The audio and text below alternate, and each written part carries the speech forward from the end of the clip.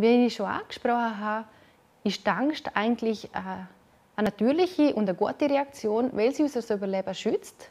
Wir möchten ja, äh, der Mensch möchte ja überleben, um unsere Art aufrechterhalten. Also sprich, wir wollen unser eigenes Überleben schützen und wir müssen schauen, dass wir unsere Gene weitergehen.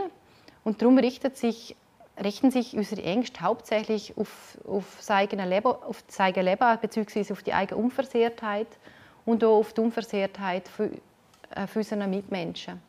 Also sprich von der Familie zum Beispiel.